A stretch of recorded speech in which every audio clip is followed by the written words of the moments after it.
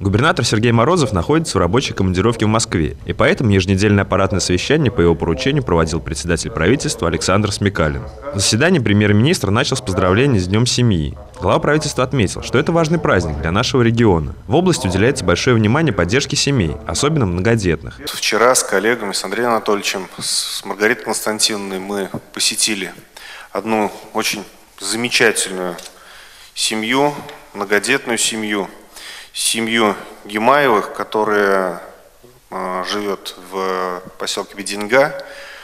На самом деле, вот пример того, как родители заботятся о своих детях, при этом воспитывают своих детей в труде, в э, стремлении к саморазвитию и, так скажем, никак не сетуя на жизнь, а стараясь именно всеми силами – создать максимальные условия для того, чтобы дети выросли и стали лучше. Заботиться о детях не только в семьях. Не за горами начало лета. Для школьников это время отдыха, но не для всех. Около 16 тысяч выпускников 9 и 11 классов готовятся пройти в этом году государственную аттестацию. К сдаче ЕГЭ область готова на все 100%. Остается в центре внимания организация летнего отдыха. Во всех муниципальных образовательных муниципальных образованиях созданы межведомственные комиссии, разработаны графики приемки лагерей, и на следующей неделе уже начнется приемка у нас. По словам Алексея Шкляра, к 25 мая все детские лагеря отдыха должны быть полностью готовы к прохождению необходимых процедур. Следующий вопрос снова сезонный. Посевная кампания. Как сообщил руководитель регионального Минсельхоза Михаил Семенкин, все хозяйства области завершили подкормку озимых культур.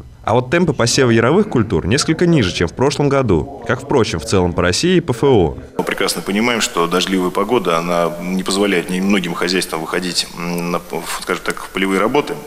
Тем не менее, сейчас мы проводим а, корректировку плана посевных, соответственно, да, в каждом муниципальном образовании, которое на сегодняшний день имеет отставание а, по плану посевов, соответственно, здесь мы будем в, с вами разрабатывать сейчас план, что называется, ежедневный, чтобы вы нам указали в каждый день, сколько у вас будет проходить, а, значит, посевная. Одновременно с тем министр уделил особое внимание проведению противопожарных мероприятий в муниципалитетах. По словам Михаила Семенкина, многие районы до сих пор не сдали комплексный план мероприятий. Это обстоятельство возмутило председателя правительства период пожароопасный у нас появляется и проходит каждый год. В чем принципиальная позиция руководства муниципалитетов о непредоставлении соответствующего плана мероприятий? Вы что, каждый раз вот заново пишете, придумываете?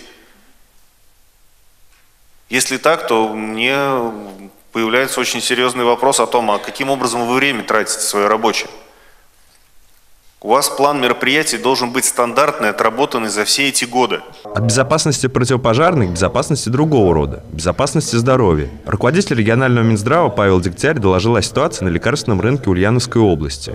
Цены а, в целом так же, как в среднем по Российской Федерации, снизились на 0,2% и ниже, чем а, в Приволжском округе, соответственно, где на 0,1%. В заключение аппаратного совещания Александр Смекалин напомнил собравшимся, что скоро в Ульяновскую область вернутся те, кто отдал долг Родине. Председатель правительства призвал обратить особое внимание на всех приходящих из армии и принять все меры для их трудоустройства. Это необходимо для того, чтобы они остались жить в области и трудились на благо своей малой родины. Егор Титов, Юрий Конехин, Новости дня, Ульяновская правда.